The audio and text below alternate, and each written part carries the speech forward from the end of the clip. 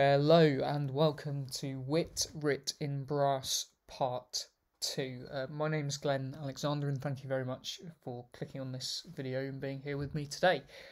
Um, so, if you haven't already seen Part uh, 1, may I recommend you go and watch that first, just so it makes some of the ideas in this video a little bit easier to comprehend. Um, so, uh, I expect to either be burnt at the stake for heresy or sanctioned for some of the things that I'm going to say in this um, video. But for me, it's really important that I speak the truth that I currently believe. Um, so, this video is to the unfeigned lovers of truth, not my words. Um, yeah, so uh, get ready. So, before we begin, um, if you're not already familiar with these figures from the art of English poesy, uh, metonymia, prosonomasia, hypotyposis, uh, prosopographia, prosopopoeia, topographia, pragmatographia, and amphibologia, I would recommend you go read those in the art of English poesy. Um, just because I, I suggest reading those beforehand. We'll we'll look at um the ambiguous amphibologia now, because um, that's the last figure uh, that is taught in the art of English poesy. So we're going to have a look at this now, um, and then um, continue. So, um, then you have one other vicious speech which we will finish uh, this chapter, and is when we speak or write doubtfully and that the sense may be taken two ways. Such ambiguous terms they call amphibologia. We call it the ambiguous, or the figure of sense in certain, as if one should say Thomas Taylor uh, saw William Tyler drunk. It is indifferent to think either the one or the other drunk. Thus said a gentleman in our vulgar prettily, notwithstanding because he did it not ignorantly, but for the nonce I sat by my lady soundly sleeping, my mistress lay by me bitterly weeping. No man can tell by this whether the mistress or the man slept or wept. These doubtful speeches were used much in the old time by the their false prophets, as appeareth by the oracles of Delphus and of Cybele. Prophecies uh, devised by the religious persons of those days to abuse the superstitious people and to encumber their busy brains with vain hopes or vain fears. Uh, Lucretius, the merry Greek, reciteth a great number of them, devised by a cozening champion, one Alexander, to get himself the name and reputation of the god Asclepius. And in effect, all our British and Saxon prophecies be of the same sort, that turn them on which side ye will, the matter of them be verified. Uh, nevertheless, carrieth generally such force in the heads of fond people that by the comfort of those blind prophecies many insurrections and rebellions have been stirred up in this realm, or real me, um, realm, uh, as that of Jack Straw and Jack Cade. Jack, both are diminutives of John, of course, uh, in Richard II's time and in our time by a seditious fellow in Norfolk calling himself Captain Kett, and others in other places of the realm, real me realm, led altogether by certain prophetical rhymes uh, which might be construed two or three ways, as well as to that one whereunto the rebels applied it. Our Maker shall therefore avoid all such ambiguous speeches, unless it be when he doth it for the nonce and for some purpose. Now, what you'll notice in this last figure that he's teaching are a few names. Um, just bear those in mind. We're talking, as in the previous figures I mentioned, about counterfeit representations um, and these names and mistaken identities, uh, as in the previous case of Thomas Taylor and William Tyler. Um, these are all important things for what is going to follow. So these come from the Art of English Poesy, which we've been talking about in the previous uh, videos. Last time we looked specifically at this device of the Ancora Spei, Richard Field's printing device, and we unpicked that. We looked at what the Ancora uh, meant, uh, an Latin for or, which was really important. because translated into Greek, it's also E, that important E. And we also looked um, at the very clever little epitaph, um, epigram, I should say, uh, how it has um, or in it a number of times. So an is or, uh, core, you've got the or there, and also I, I probably should have said this last time, um, but the P, which is the Greek rho, you've also got an or there, so you've got or three times. Um, now, I'm very thankful to Stephen Hershkowitz, if I'm saying your name, uh, name right. Thank you so much for commenting on the previous video and let me know this because I didn't know this. But or in Hebrew equals light, and Hebrew is quite important because um, I believe our author uh, also knew a bit of Hebrew slash published a book on it. Anyway, so or also means light. Now that's really important because I also I think I mentioned in the last video about Ra uh, being the god of sunshine and those uh, clouds there being in front of a sun. Um, now this is quite important, um, partly because Alexander Waugh did a brilliant video uh, that I very much enjoyed, so I'd encourage you to go watch that because I thought that was great. Uh, entitled "Was Christopher Marlowe Shakespeare's Servant?" Well, I'm gonna I'm gonna have a um, I'm gonna have a punt at um, trying to answer that actually uh, for you. Alexander. But Alexander in that video, which is brilliant and I found very stimulating, um, also kind of alerted me to something that I kind of had spotted, but I didn't really understand, which was these um, these rays of sunshine. And he goes into uh, talking about Apollo. Um, now, sunshine's really important because I found these hidden images in the Droeshout portrait by shining a bright light through the back of it. Um, so sunshine is really, really important, and I'm going to speak a little bit more about Apollo um, in a second. But also, just clock the first thing in this book is to the reader. Full stop. To the reader. That's the first thing here. Just remember that because that's going to be so important for pretty much everything that follows in a bit. So let's just talk about um, Apollo. As I said, do go watch uh, Alexander's video because um, I thought that was great. Um, let's just talk about Apollo. Apollo, the god of sunshine, of, of the sun, um, also the god of artistic learning, um, music, and poetry. He's the god of poetry. Um, also, which is quite important, uh, he's the god of uh, the patron god of uh, shepherds um, and herdsmen, which is quite important. Um, which is very important actually. Um, now he is uh, he always hangs around with the muses. Some might say he's the tenth muse, uh, which is important because in Sonnet thirty eight. Um, we're talking about when thou thyself doth give invention light, be thou the tenth muse, ten times more in worth. Well, you might notice that or in more and or in worth there. Um, so De Vere very much is um, the is Apollo the tenth muse. Um, ten is an important number. One being self, zero being nothing as well. That's really important. Um, so Apollo, very very important. Thank you to Alexander for kind of really um, highlighting that uh, for me because that's going to be really important uh, for what I'm about to go into and show you. So the first thing I, I wanted to do was kind of have a look because I, I, I missed this um, or didn't realise the significance of it. Um, is the references to Apollo in the art of English poesy. Uh, so you'll notice we have the same line three times. I know Alexander likes threes, um, so there it is three times. Dan Phoebus raise into his horned head. Um, now this line is actually really important um, because if you look, you've got the an and the or. Uh, the IHS of his, uh, the Ed or Ned, if you think back to the um, the joke in, in Aristophanes' Wasps, uh, Ed on the end there. Um, the same thing here, uh, repeated. I mean, I really like this. Um, so Dan Phoebus uh, raised into his horned head, and I myself, by learned law, perceived that the spring, or perhaps Veer, approached, and frosty winter fled, I crossed the Thames to take the cheerful air in open fields. The weather was so fair. Well, what's across? Um, well, yeah, notice the or. Um, what's across the Thames? Well, we have um, uh, well, we have Blackfriars on this side, and across the Thames, uh, we have the Globe Theatre. Perhaps that's cheerful air.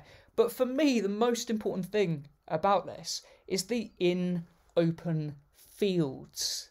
Okay, why? Because the printer's preface, that really, really important printer's preface, right back from the first video, was by Richard Field.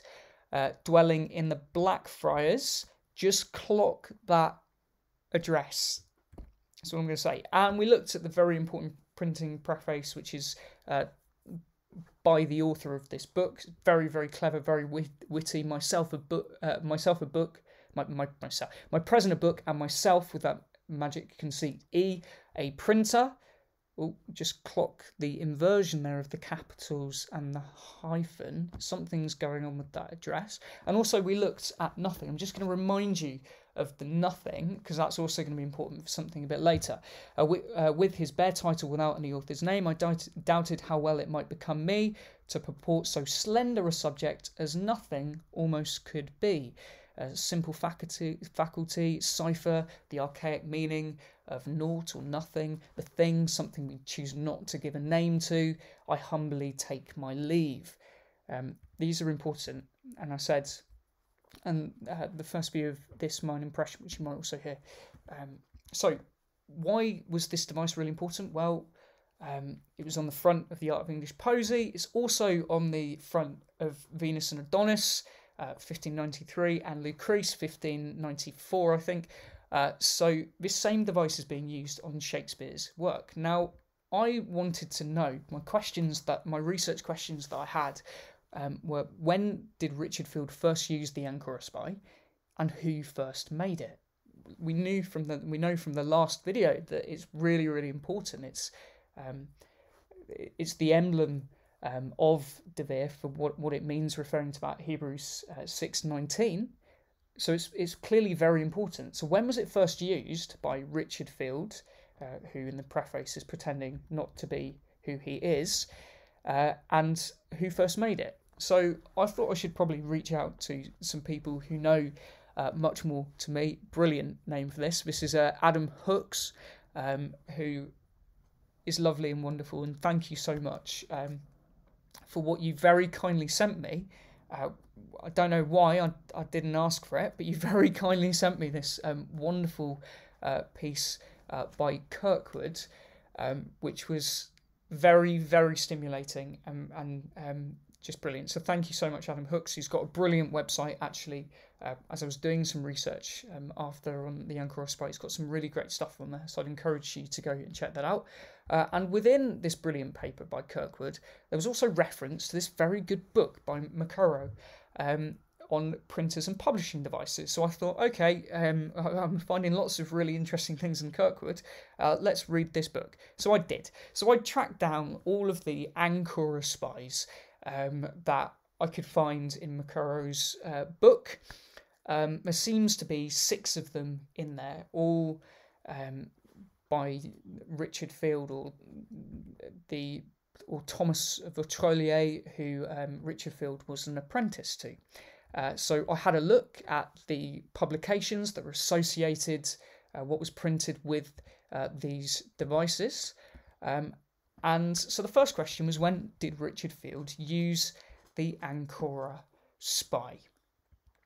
Well, it seems to be uh, with a book dealing with the French political situation. That seems to be the first time he uh, he used it, entered in the stationer's register. Now, I, sh- I should um I should point out we should always be critical and skeptical with every bit of information that we're coming across. That includes what I'm saying. Please be really critical uh, with whatever uh, we're being presented with, even if it is in the stationer's register. Okay, so just be really critical. Um, and the Art of English Poesy, which was the second piece. So it seems that this book here, The Restorer of the French Estate, was the first thing that Richard Field uh, used this device of the Ancora spei on. Note the address.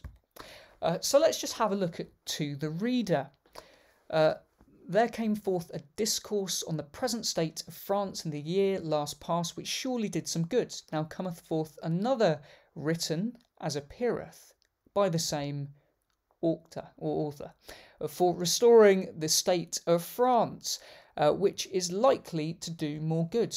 The work, oh, look at that E, being first conceived by a high wit and after shaped by ripe experience, seemeth sithence to have passed through some rude and unclean, notice the E on that, hand, and yet is not so misshapen or defaced thereby, but that the lineaments remaining do soon e uh, describe the, the first workman, and thus much for the form, for me perhaps.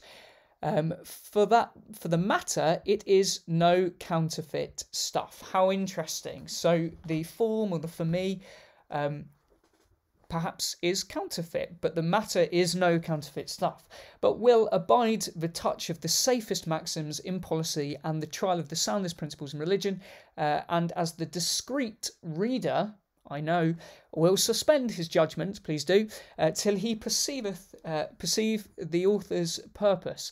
So let the saucy censurer, um, I love that, uh, know the height thereof, uh, summeth the reach of his carping conceit. Farewell. Well, I definitely think there's some conceit going on. Again, uh, this to the reader uh, has some very interesting things in it. Uh, so, what else did um, Field do? Well, um, printed Lucrece and Venus and Adonis. Um, but printed them. Um, the imprints are to be sold at the sign of a, of a different address. So there's a different address, and but these are the Shakespeare's first work.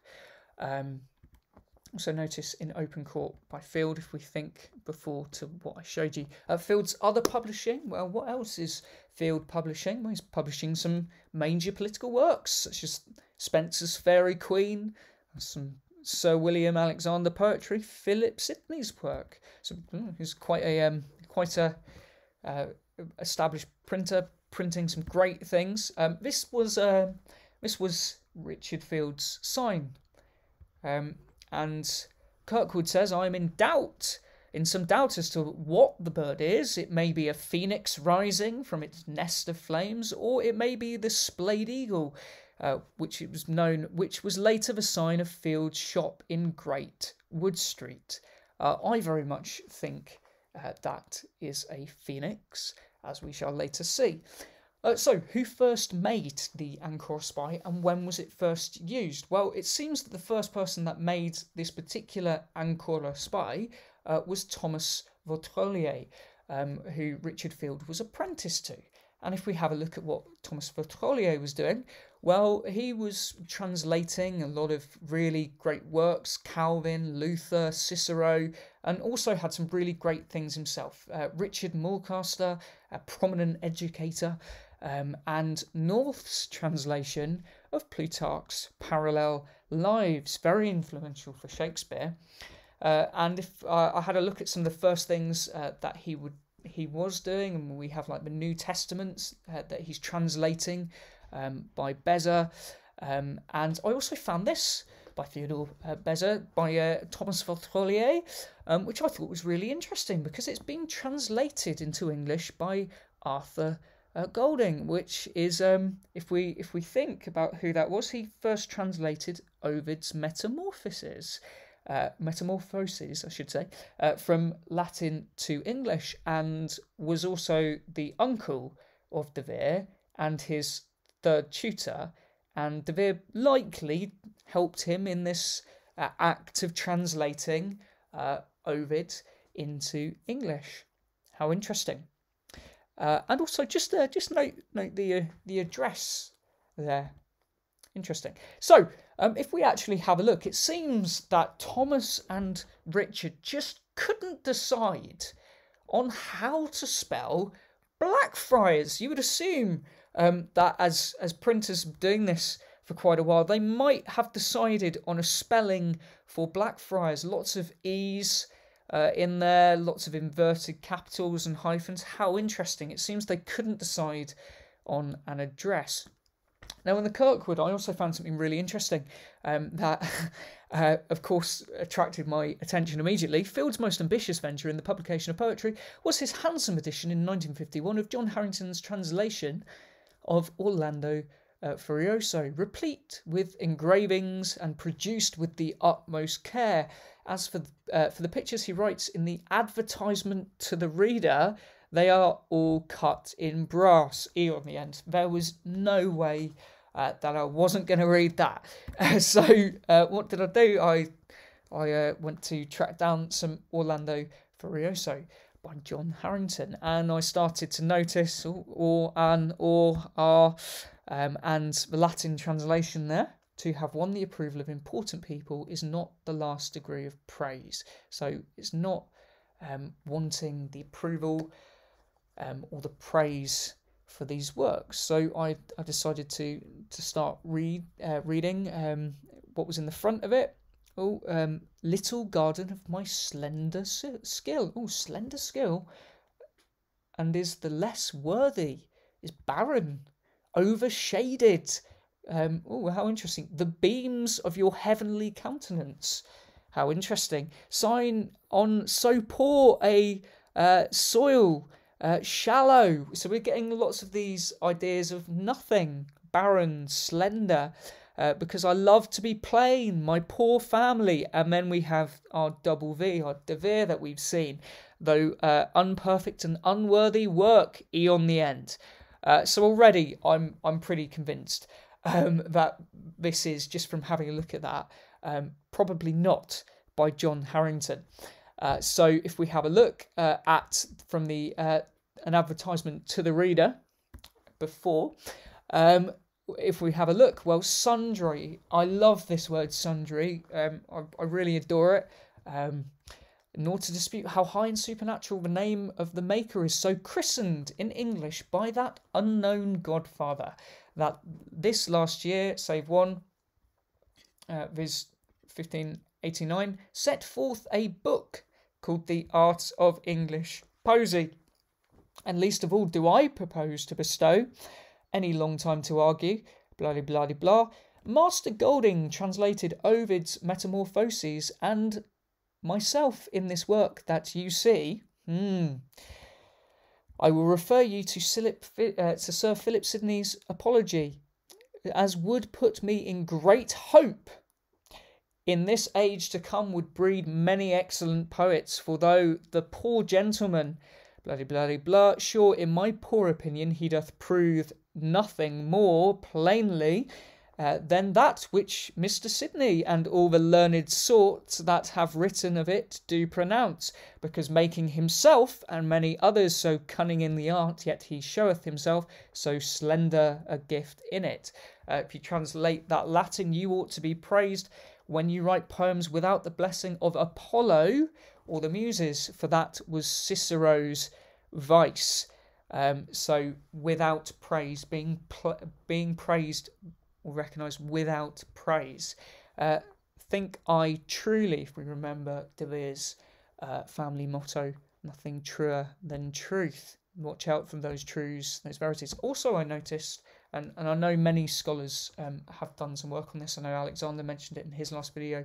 Uh, I'll talk a little bit about later. Also, in this book E of Orlando Furioso, you have um, this nice um, uh, device here of these two A's, which I'll talk about a little bit later. Of importance, though. Um, now, why is John Harrington so important? Well, we know the art of English poesy, as Richard Field tells us. Uh, this book coming to my hands without his bare title, without any author's name or any other ordinary address. Well, who was the first person to allude to the art of English poesy being by Putnam, do you think? Oh, in 1590, John Harrington refers to the book's author as Putnam. So, John Harrington, the person who I already think is De Vere, uh, is the first person to refer to the author's uh, to, to the, the author of this book as Putnam. So it would seem uh, that De Vere is fabricating uh, his own red herrings. That's really, really important. And actually, uh, you'll see this with a few other authors. Uh, but let's not get too high, uh, too far ahead of ourselves. Um, I could, I should also say in the the figure of the recounter. Uh, when I was a scholar in Oxford, well, you should note that George Putnam went to Cambridge. He didn't go to Oxford for a start, and every uh, they called every such one Joannes. Uh, your John there, Johannes. John is again um, from that. Uh, ad oppositum, so someone who's quarrelling. this is the quarreller. So uh, John Harrington is certainly quarrelling. Uh, George Putnam, well, letters we've talked about in the past, the E, the eta, uh, the T, the Tav being Mark. If you just put those in Putnam, you get George Putnam. I've, I've been saying this, I said this in my book, that I believe George Putnam is a complete red herring, as Richard Field tells you in the preface, coming to my hands without the author's name on it. Uh, so, um, John Harrington translating classics from Italian into English. Hmm. Well, I thought let's have a look at some of other uh, works by John Harrington, And there's this wonderful, what was that double Devere there? Um, let's have a look at this one a new discourse on a stale subject called The Metamorphoses of Ajax. Come on, it's spelling, it, it really is kind of spelling it out for you. And we have our Ancora Spei on the front uh, printed by Richard Field. Now, this book is uh, really, really funny actually. Um, and in it actually lays out uh, the idea for the first ever flushing toilet. Uh, so I believe already we are dealing with an absolute genius um, and a Renaissance uh, man who is well, come on, he, he's he's laying out ideas for the first ever flushing toilet, uh, which arguably is why the toilet is called the jakes. May even, although contended, be why we call it the John. Um, and, oh, that I were at Ox- Oxenford to eat some Banbury cakes. Don't know why I included that, but I thought it was funny. Anyway, uh, so um, in part one, we looked at this um, and we kind of dissected this. I showed you it was really important the peek behind the curtain, uh, which goes back to our Hebrews 6:19 reference uh, by Mr. Henry Peacham, the Minerva Britannia. Now, um, interestingly, one of the pages in this, we have this to the Honourable Lord Harrington, which would have been John Harrington. Um, and it's all about, well, the Caspian Sea, as histories do show, where rocky shores on every side surround, was never seen, double V there, by man to ebb or flow. It was never seen by man, Eon that seen as well, by man to ebb or flow, but still abides the same within his bounds. So it was never seen to ebb and flow. How interesting. Um, oh, is that Philip Sidney there as well?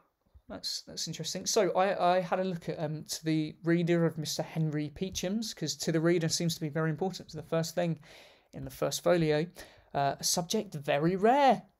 I know not an Englishman in our age that hath published any work of this kind, they being, I doubt not, as ingenious and happy in their invention as the best French or Italian of them all. Uh, learning and arts, arts hath uh, um, hath she uh, uh, excelled in this as in all other rare inventions. Um, sundry, oh, that's that lovely word again. Um, Edward the Black Prince. I love this. It, you're going to hear constant referrals to princes actually as well. Edward the Black Prince. Black's really important because black is nothing, right? That's the absence of light. It's the complete inversion of uh, like it, it's it's the absence. So Edward the Black Prince. You have that nothing there as well. Uh, sunburnt brains, emblems to sundry and great personages, transcendence, this idea of transcendence, which is really important even with a phoenix, uh, as I have ever been myself. Uh, and oh, if we have a look at the next page, there's a son there, um, Henricus uh. Well, note the double V that he's put in his name. Come on, this so obvious. Um, well, if we have a look at this page here, look, there's a phoenix there. Um, and I think the really important thing, other than the the this frontis device here, is this bit here. I think this is really important. I think arguably this is one of the most important things uh, on this uh, frontispiece, uh, which is printed in um, title page, printed in Shoe Lane at the sign of the Falcon by VVA Dight. you could argue that's the double V again. Well, just so happens there happens to be one um, illustration of a falcon in Minerva Britannia. Um, and I think this is very important because the falcon is leaving this mysterious hand coming out of the clouds. Um, I, think this is great. Uh, so, better likes the field and forest spray, and for himself in elder age to pray, truly noble. I love the art in the caterpillar. There's oars all over the place, and right at the bottom there, which is lovely, the V is or is V uh, which I really like. But if we have a look a little bit more at this, but better likes the field. Well, we've seen fields already, and it's got an E on the end. We've got our or and our ra. Um, we've got our or himself with an E on the end and a ra there as well. It's lovely. I also love this one. Oh, is that a phoenix? We've spoken about the eta and the E. Uh, eta, uh, the E in Jesus of the uh, the uh, monogram. Um, if we have a look here, when double V, uh, when valiant Richmond gave the overthrow, a usurping Richard on that fatal field um, of Bosworth, as our histories to show, this emblem he devised for his shield, um, for when the battle holy was his own. Mm, well, can we think of any? Um, oh, interesting. Uh, so the Ancora Spei, uh, Richard's emblem there. Um, and also, I love this. You have a veer. it's great. You have a veer directly um, adjacent to that. Come on, it's, it's, it's, just brilliant. There's loads of great things there. Um, the author to his muse, which comes like set, like midway through this book, uh, double V or Love and Light, the LL, which I've explained, uh, I think previously in the book, it's quite important. Uh, as Phoebus, uh, Light, um, Phoebus Apollo, LL, Art, um, uh, as the dictator, um, all in time. The May May is also very important. Uh, if you've read the printer's preface, within the city, bear a greater sway. Um, I love this actually.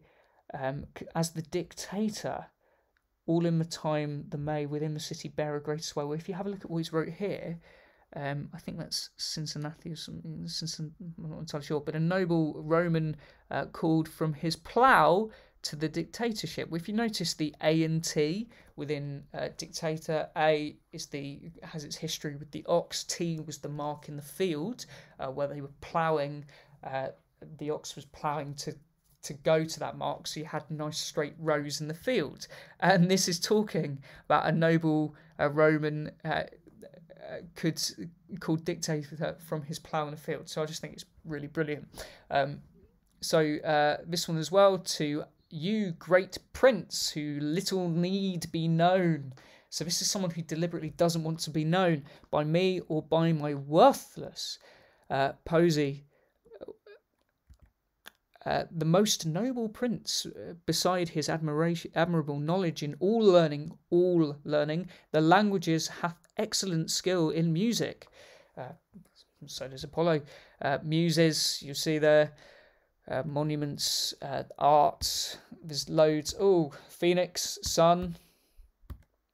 Oh, Phoenix, Sun. It's all there. There's loads of references directly as well to the Phoenix, Phoebus, Apollo, Phoenix, Phoenix. It's it's literally shouting at you. But while you are uh, consuming in the fame, uh, in the same, you breed a second, your immortal fame. If we have a look at the conclusion, uh, or Aurora, which is light, and Phoebus, uh, I really like this um, about the printer's devices and all her gallant knights, uh, and such as actors in her conquests were Great Edward, third, uh, you might see there with that victorious prince, his son, son, Phoenix. And uh, now that they were on every tree, devices new as well as old, as those brave worthies faithfully shall in another book be told. Goodness, how many books are there? Uh, quite a few. Um, what did uh, first print? Well, okay, I'm starting to doubt uh, some of the people who are printing uh, these books. Um, you have to look into those books and and and do a bit of inspection, but you'll find a lot of these common devices from what seems to be the same author. So when did Vautrolier first? Uh, what did Vautrolier first print? Um, well, this is what he first printed. Actually, this is the first writing book of handwriting to be printed in England. It's quite an important book with an e on the end. Uh, De Vere's, it's even telling you on the front um, that curly uh, epsilon there, which you're going to see time and time again actually. And now I'm thinking about it. Uh, Blackfriars, all notice the address there. Italian, true, uh, fourth with the or in, uh, printed.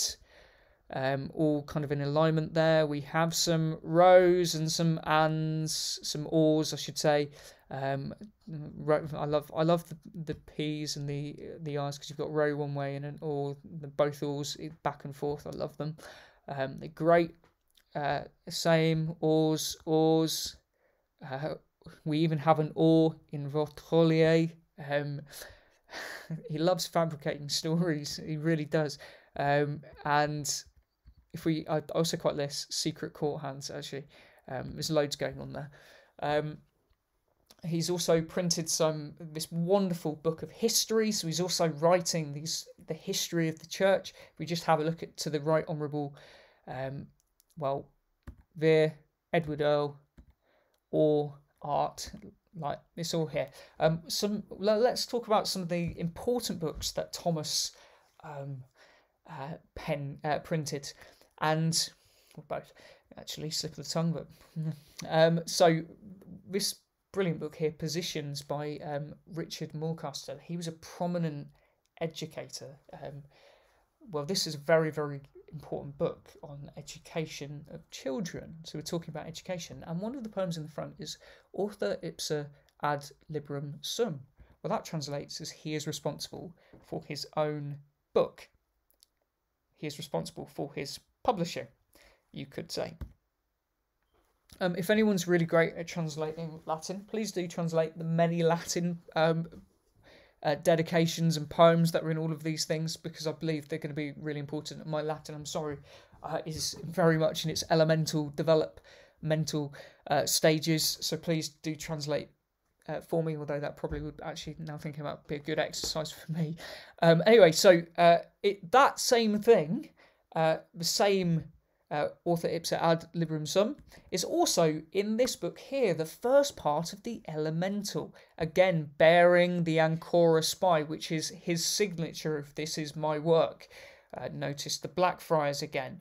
And now this is a very important book um, because it's setting down English grammar and teaching about education. It's an incredibly important book.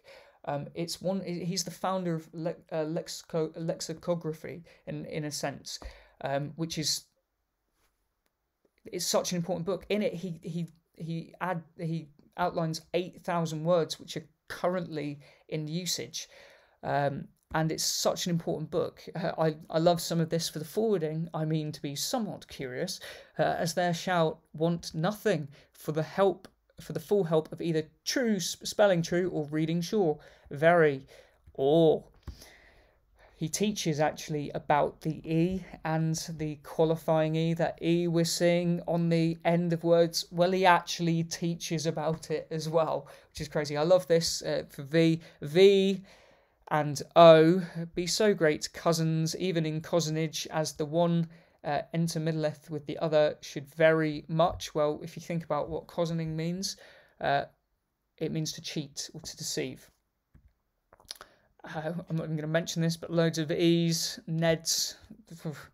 Um, what I think is probably the most important thing um, in this book, and I think probably one of the second peaks behind the curtain into why the author is doing what he's doing, is the peroration, the conclusion to my gentle readers and good countrymen, wherein many things are handled concerning learning in general, and the nature of the English and foreign tongues, besides some particular uh, particularities concerning the penning of this and other books in English. Um, and for me, this is kind of his treatise, where he's treatise, where he's, where he's laying out uh, what it is he is trying to do now, again, Richard Mulcaster, who probably is a real person, um, I don't doubt that, um, But if, if you read this, myself uh, intending at the first to deal but with tongues and the teaching thereof in the grammar school, as he thought of his justice in civil doings, was likewise enforced by sway of meditation, so perhaps he's not doing that, to enter in thought of the whole course of learning. So he's thinking about the whole course of learning, and to be and to consider how every particular thing did arise in degree one after another. For without that consideration, how could I have discerned where to begin, how to proceed, and where to end in any one thing, which dependeth upon a sequel, and marcheth from a principle, seeing the matter which I deal with is a matter of assent, wherein every particular that goeth before hath uh, contain, contain, uh, contain uh, all respect to that which cometh after. If the whole uh, plat plan uh, be artificially cast, as in this course of mine, the elementary principles may resemble the first groundwork, the teaching of tongues, the second stories, the after learning, the upper buildings, which are uh, now as in architecture and artificial buildings he were no good workman uh, which would not cast his frame so as each of the ascents might be comfortable to other. So in the degrees of learning, it were no masterly part not to observe the like which cannot be observed before the whole be thought on. So he's thinking about the whole of learning before he's going to teach it, and thoroughly fashioned in the part's mind which pre- uh, pretendeth the work. I actually quite like that. Um, so um, he's thinking about how he's going to structure this learning. He wants to teach learning. He is a lover of learning, and he wants to teach his Englishmen um, this wonderful learning from antiquity. And he's thinking about how he's going to teach it before he even begins. And he's going to start with the teaching of tongues and grammar. Well, you just saw the first book was on handwriting. Um, he's teaching or, or writing. He's teaching grammar here then he's going to teach stories, and then the the upper echelons. He, this is a master builder. Uh, the upper echelons of maybe morality uh, and really higher order things, whatever they might be. Uh, I love this book uh, with a passion. I'm a servant to my country. These are some of my favorite quotes. Uh, for his sake, for her sake, I will travel. Uh, travel her circumstances I must consider, and whatsoever I shall pen, I will see it executed by the grace of God, mine own self, to persuade other uh, the better by a tried proof. For that all which I do concerneth my country, youth, and tongue. It entertaineth her profit, and envieth not her pleasure, and desireth to see her enriched so in every kind of argument, and honoured so with every ornament of eloquence, as she may vie with the foreign, if I may work it with wishing. He wants English to rival the languages of uh, of Greek and Latin and of Italian. He wants our English tongue uh, to vie with them to be as great. And I really, surely, truly believe that he succeeds um, in, in what he's trying to do. Uh, in this last kind, mine own labour travaileth to seek uh, for uniformity, to strip away uh, the needless. I love this. Ned D. Less. It's brilliant. Uh, to supply some defects, uh, to do mine endeavour to help everyone in as quiet a course as I can temper my style unto. He's going to try to do this um, invisibly. He, he's trying to hide away, to not take uh, credit for this or praise his own name. Um, as I think it was, was Cicero wrongly fell into. He he doesn't want uh, the praise for this. He's he's trying to he's doing this for his country. I love this is one of my favorite. I love Rome, but London better. I favor Italy, but England more. I honor the Latin, but I worship the English. He loves his country and he loves the English tongue, and he is dedicated to make it a great tongue, to enrich it, uh, to give our English tongue grace. Uh, God bless us all to the advancement of His glory, the honour of our country, the furtherance of good learning. Uh, the good of all degrees, both prince and people. This is a man who is who wishes to enrich our English tongue, and whew, does he? So, okay, here we go. Buckle your seatbelts. I thought, okay, well, let's have a look at some people who've translated uh, from the Italian into uh, English. Um, and one said person that many people have uh, authorship uh, queries about is John Florio. Well, let's have a look at some of these devices. John Florio was a brilliant translator um, and has done quite a lot. Well, here we go, translated out of Sundry Sundry, the best Italian authors, with certain necessary rules for Englishmen to attain to the perfection of the Italian tongue and for Italians to learn the pronunciation of our English. In the end, uh, they would needs, though sore against my will, always watch out for those wills, have it put forth in print. But I, right honourable, well, where we see that right honourable for, um, it, it's it's all here. Uh, most courteous reader, at the request of sundry my friends, I present my first fruits. It it's all there. Come to light. IF. Remember how uh, Richard Field signs his name. If we have a look at the poems dedicated in the front of it, cast anchor here. Uh, those which saw not his transformed face. Um, if we have our if you look sundry if it were strange oneself should next should bear two sundry heads and face more than one it was uh, strange oneself uh, same head should wear two sundry horns like an ox where nature grafted none and is more strange to see oneself same face two sundry tongues and speeches to embrace um, the tree was framed according to the fruit an english stock but an italian plant. I've remembered some water this time, thankfully. One man, one tree, two sundry, two sundry men, blah, blah, blah, blah. Um, look, English may quickly flourish in our English fields. May fields flourish, Florio, come on. Um, like it's it's all here, true to his prince, but art and ease, but look and learn. Uh, second fruits very important as well. Um, a world of words, um, again, like incredibly important. If you have a look at it, you've got this printed by Hatfield, Edward Blunt, North Door. Um, I know not to the reader, always read to the reader. I know not how I may again adventure an epistle to the reader, blah, blah, blah, conceited in their peevishness. So should I fear the fire and have felt the shipwreck? Remember, shipwrecks are important uh, then what will the world say for venturing again?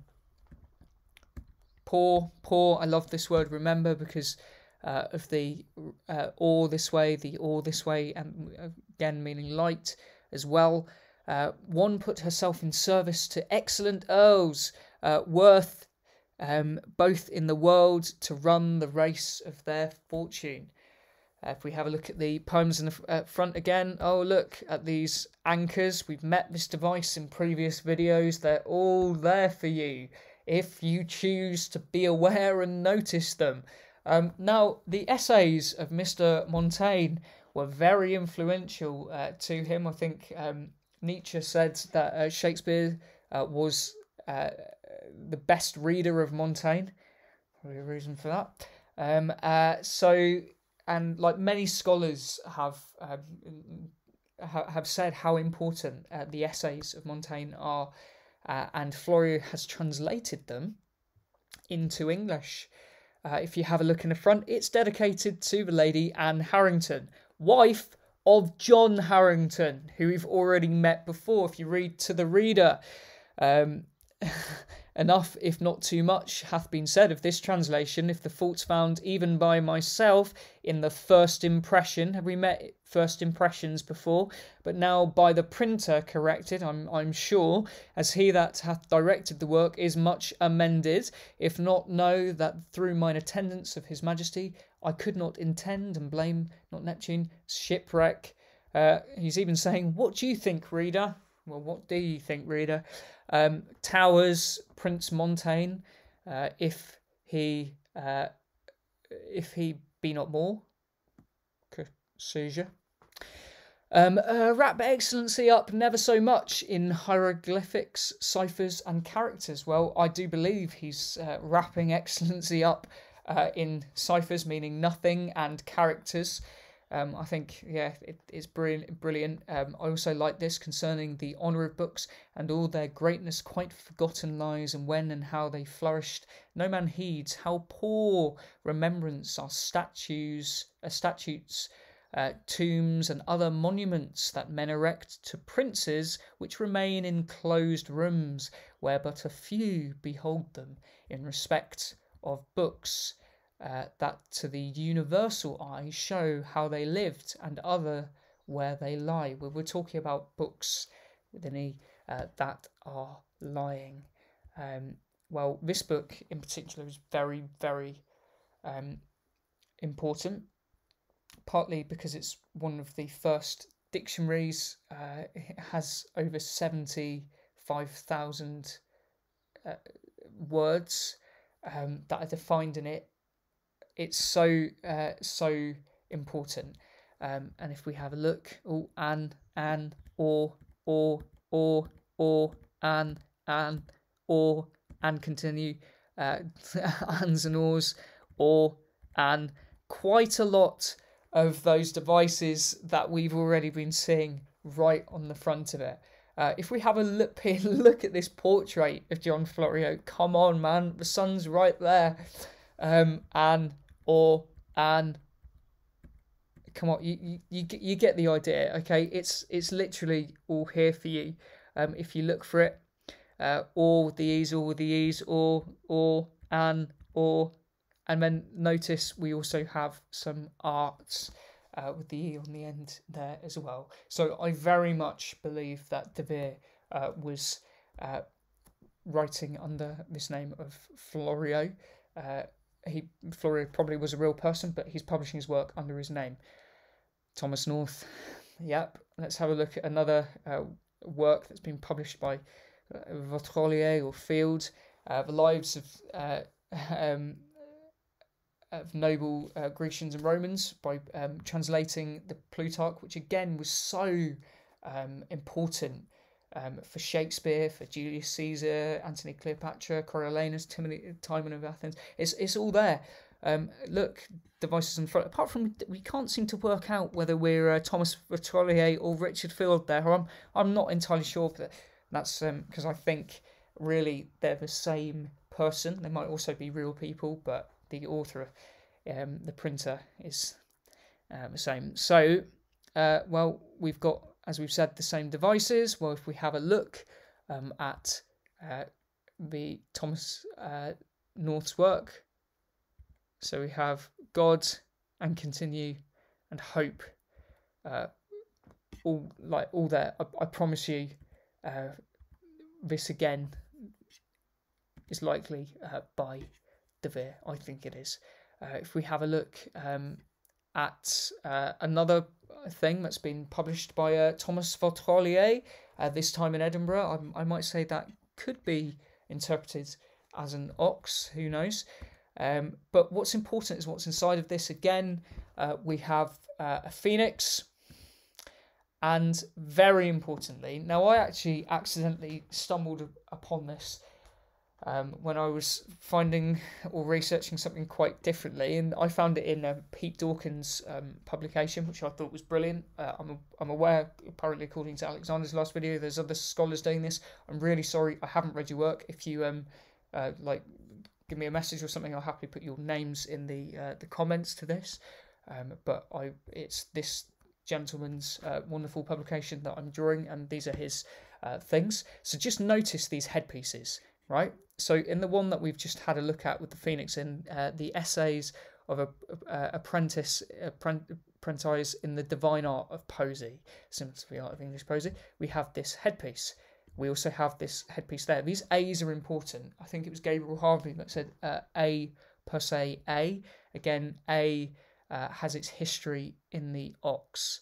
Uh, so these A's are really, really important.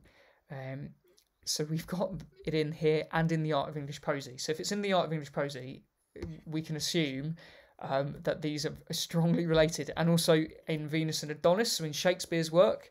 Um, okay, Hamlet. Interestingly, uh, the Shepherd's Calendar, which we'll talk about in a bit. Shakespeare's Folio. We have these A's. also in Orlando Furioso, as we've spoken about, we've got these A's as well. So we can assume that is by De Vere. Uh, Philip Sidney, whose name we've seen a few times already. Well, if we have a look at the Shepherd's Calendar, whose headpiece you've just seen, also in the Art of English Poesy, so those printing devices that are being used again, uh, to the noble and uh, Veritas, come on, uh, near unto Ludgate. Uh, Ludgate, the source of a known um, postern for making discreet entrances and exits, um, very secretive. Um, if you have a look at January, well, we've got the Ancora Speem, which is that that Speem comes from Spy Hope. We have the Ancora Spei, uh, which is Colin's uh, emblem. So Colin's um, emblem is the Ancora Spei. How interesting. Um, so the Countess Pembroke's Arcadia, which is really important the sub the Gloucester subplot in um, King Lear. also really interesting. Um, I, I read this while his literary career is well known. He himself did not think of himself of as a writer and only dedicated a small part of his life to writing. I wonder why he didn't think of himself as a writer. Uh, and if uh, because De is publishing under his name, uh, and if we have a look at this, um, one of the first critical essays in the English uh, tongue, in the English language, uh, by Philip Sidney. Well, it's staring at you in the face. I love it. Apollo. Brilliant. No apology for poetry, um, which he's responding to someone who, again, may not be who he's saying. If you have a look um, at the uh, at what it's saying inside, uh, back the glorious sunshine of divine Poesy, divine Sir Philip Sidney. Um, well, if they uh, will do well, will lots of wills there. Um, it, it's just full of excellent poesy. So created by this apology. So I very much think, uh, again, De Vere's writing under uh, Apollo's name. Uh, we have some very interesting poems in the front I'd encourage you to read, talking about knights, for instance. Um, well, we also uh, have come across already uh, Shepherd's Calendar and Edmund Spenser. If we have a look at Amoretti, um, I do more confidently presume to publish in his absence under your name, to whom, in my poor opinion, uh, though to yourself unknown, uh, worth my goodwill herein, who seek no more but to show myself yours in all dutiful affection, indeed. Uh, again, you can see that sun behind the book and a number of other devices, the Verity, TVA, uh, like there's loads of stuff always going on. And have a look at these wonderful to the author poems in the front. Always check out the poems in the front because they're also likely by the same author. Phoebus, uh, the time like night deprived, cheerful day, blah blah blah, sunshine. Um, too many sides. That art, our perfect guide. Uh, so we that live and ages that succeed with great applause, thy learned works shall uh, read. Well, I hope um, some of these very learned works will receive uh, the praise they rightfully deserve from this. Uh, like he is the English Aristotle and Plato. He, I, I imagine he is one of the most published authors uh, in history. Shepherds, remember I did say Apollo is the patron of shepherds as well um, to climb the height of virtue's sacred hill can raise those records of lasting praise. Um, so we have our references to Phoebus uh, and shepherds there. Um, again, second part um, of the, well, the Fairy Queen really uh, influential to Shakespeare, bearing this same emblem, double V, um, and we have many other people. Aurora Light, look at the headpiece there. Um, uh, William Alexander's same thing. Edward Blunt. You can hear the same names coming up again and again, but he did tell you this uh, uh, in the the figure of um, the ambiguous. Again, we've got the same. Wherever you see this Ancora spei, um, just presume that Edward de Vere is behind it uh, in some way. Also, love this uh, Edmund Bolton, who also said something about George Puttenham.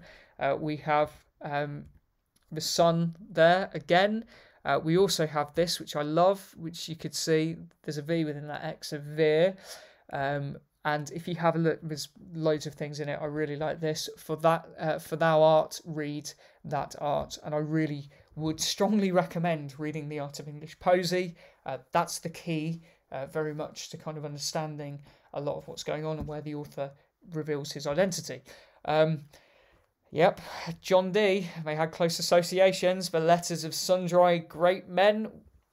Um, well, if we have a look at some sundry uh, great men um, uh, who inspired this. well, If we have a look in this book, you have the sun and the moon in Roger Bacon, uh, Apollo, and or there's loads of things going on. You have uh, some triangles with some uh, crosses here.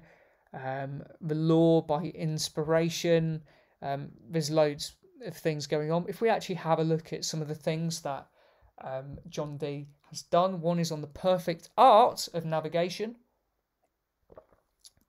Quite important, I think, because um, it lays down the foundation of um, uh, having a great naval fleet, which was quite important for the British Empire. Um, but if we have a look at the many devices that are going on, well, first off, we have our Sun, our Apollo. Watch out for that device because it's everywhere. We have our double A's, our Ra's, uh, and our oars, our ands. There's loads of them are up. We have 10 stars there. Uh, our Kairos, uh, row, row, our oars, in other words. The um, Omega was a long O sound as well. Uh, so you've got loads of devices going on there. Um, now he also did some brilliant things. He was the first person, one of the first people to translate uh, Euclid, so capturing all of that learning from antiquity and translating it into English to better enrich uh, the learning of our great country and our tongue. So he's the first person to like translate translate Euclid. Um, oh, sons.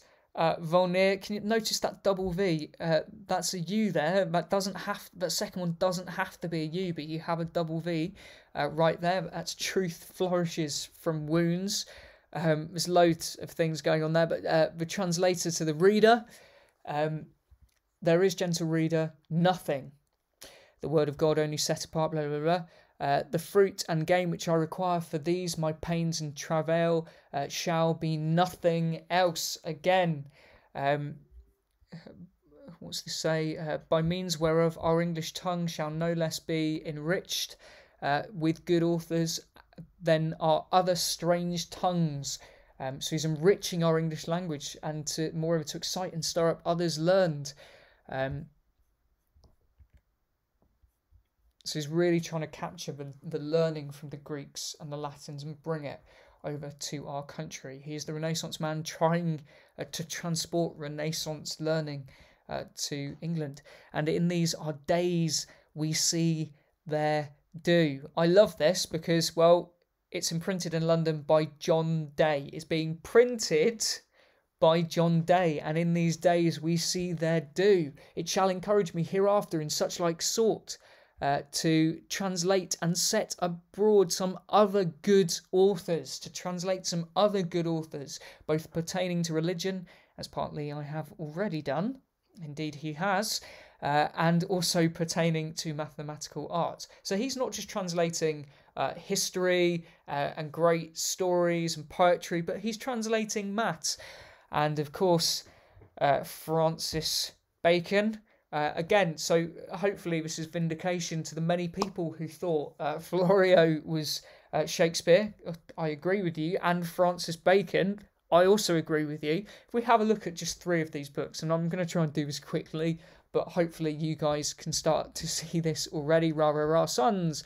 Uh, if we have a look at the an uh, the ors and the ans, uh, same thing.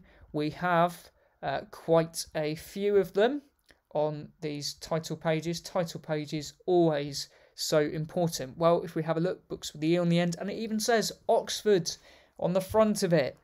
Uh, which is lovely. If you have a look at this picture, you've got V's going all the way around um, uh, the portrait there. If you have a look, we've got double V, that De Vere, three times, three times on that.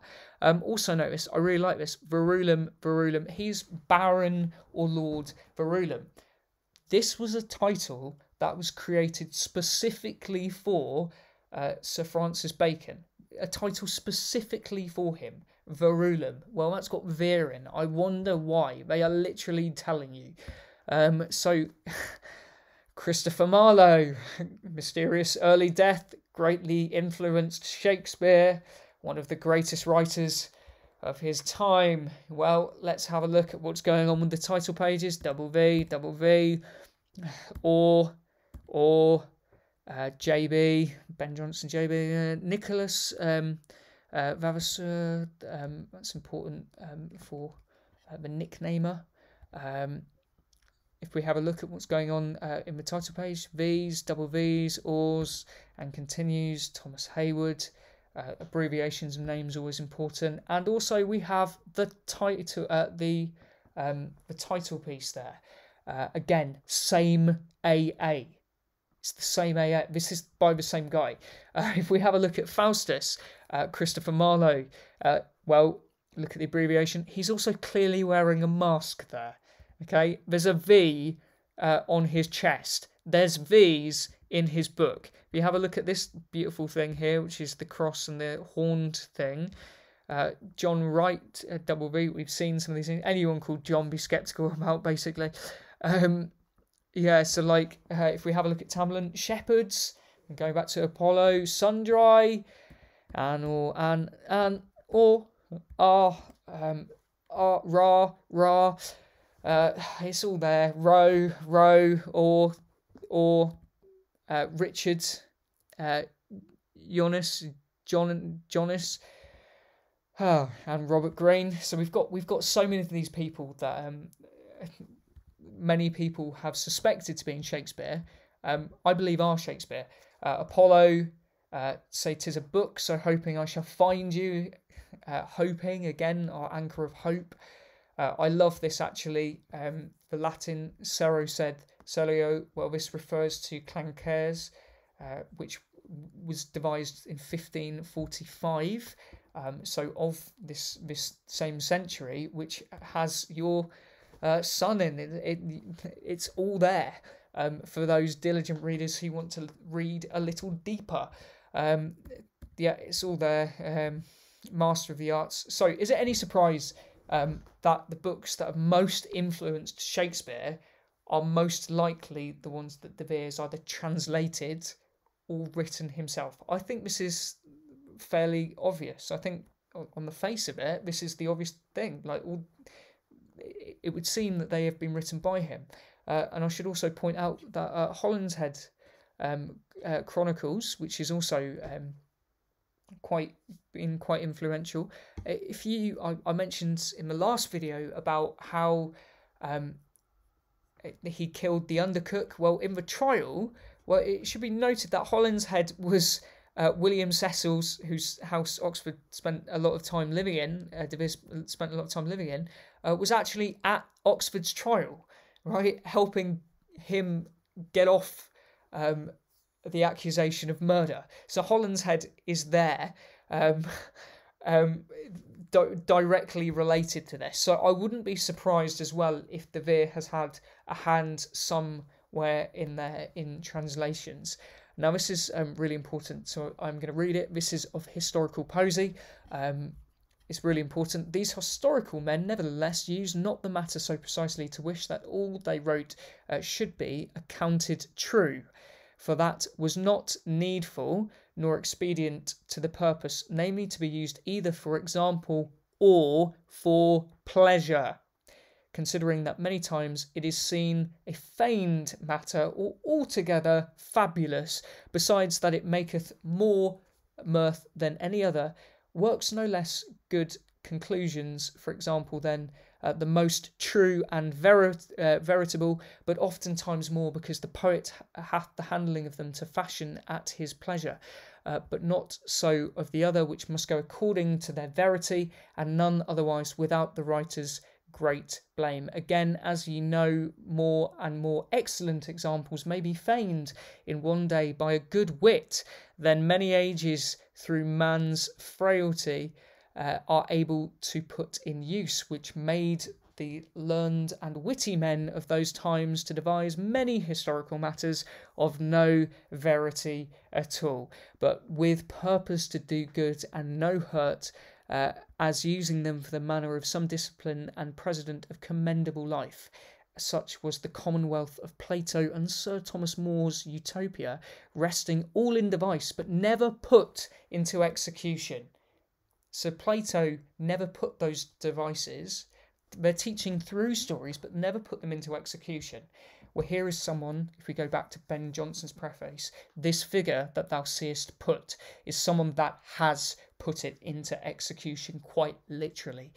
Um, he is manipulating, fabricating um, history uh, for pleasure and for mirth, and to not take praise, but to praise uh, and bring praise upon the English tongue to make our English tongue great. Um, and easier to be uh, wished for than to be performed. He has performed this. And you shall perceive that histories were of three sorts wholly true and wholly false, and a third holding part of either, but for honest recreation. And good example they were all of them and this may be apparent to us not only by the poetical histories, but also by those that be written in prose.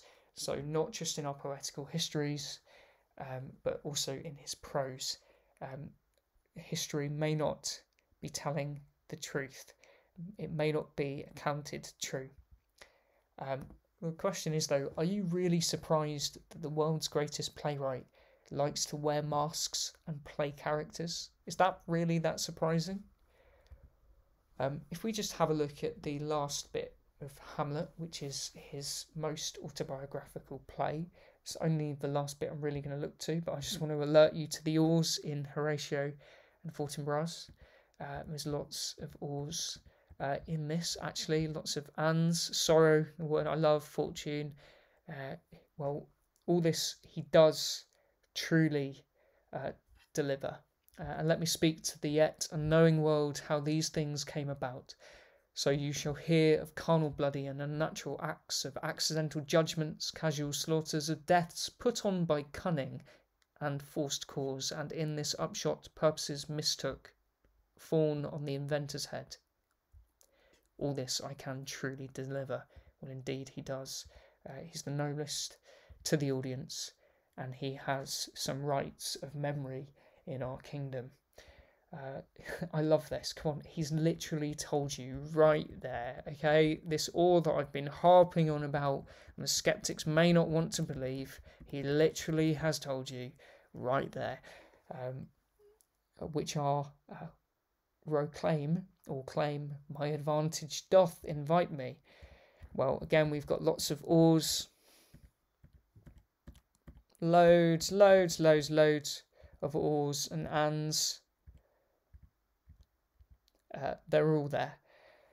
Um, the thing I really and I love this this wall because you'll notice this R it's just ever so slightly flicked up. You could argue that is art. All his attention to detail um, is obsessive and genie like it, it, there's so much genius in what he is doing. Um, I wanted to alert you to this though.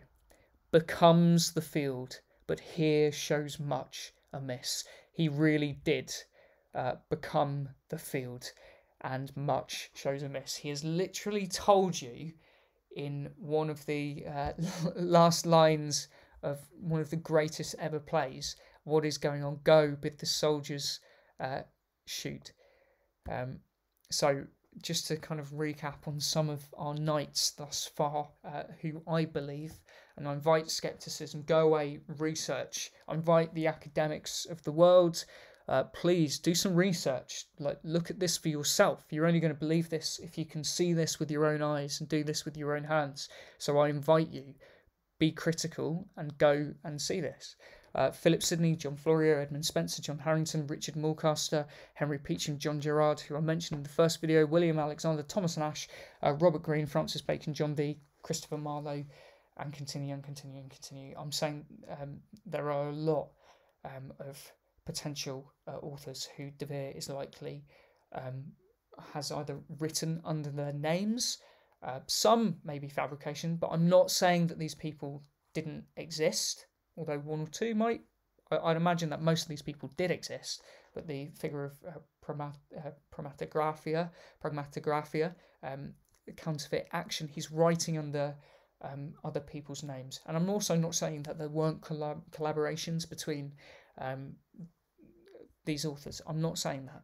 Um, but I do believe that a lot of these works have De Vere's hand strongly behind them. I also think all of the authorship debate we've been having, this is ultimate divide and conquer um, uh, to mislead people. Get like we're all fighting over the same thing here. Edward de Vere is behind all of the people that we've been seeing. So congratulations. I think you're all right. Uh, so well done. Um, so to those who wish to plough this field, uh, I should really suggest the title pages uh, to the reader, uh, dedicated poems, printing errors, uh, and if there's any directions that he gives you to see or note things, I would suggest to go and check those out. I found a number of really interesting things actually, uh, which I may tell you about um, some of the stage devices as outlined in the Art of English Poesy. Read the Art of English Poesy. I was not anyway interested in the authorship question until I accidentally found that book, accidentally found the author, and I've only found this because he's given me instructions within that to kind of understand uh, what's going on. Uh, who's printing, authoring, uh, those names that he's been telling you, John, Thomas, Edward, Richard, etc. Uh, just be really savvy uh, about those names, or and Ra qualifying, as he calls them, I like to call them conceited um, with, double V's, De Vere's, references to art, nothing may, super important, desire, uh, Apollo, as we know now, is crucially important, Sundry, Phoenix, and verity and truth references. They're all uh, major things to flag as soon as you see those. Uh, just pay attention to those. Uh, and I'm going to end uh, this video, as I think is right and proper, with um, Richard Field's uh, sign of the phoenix and say thank you very much um, for watching this. I have no idea. Uh, okay, we're over an hour again, so I'm very sorry. Thank you if you've paid attention to this, um, and I hope in may in many ways uh, it may stimulate debate. Please do be critical. Uh, this is currently what I believe, uh, but please go away and research this uh, for yourself. I may at some stage, if you want me to, I can put some links uh, to uh, the books that I've been using so you can quickly go to those if that's helpful for you. Um, but just to say thank you to Edward de Vere for doing more for our English tongue and language than probably any author uh, has ever done uh, for our um, for our language. So thank you to that absolute genius, the ultimate English uh, Renaissance man, uh, who I hope uh, in years to come may receive the recognition he rightfully deserves. So thank you very much um, and take care.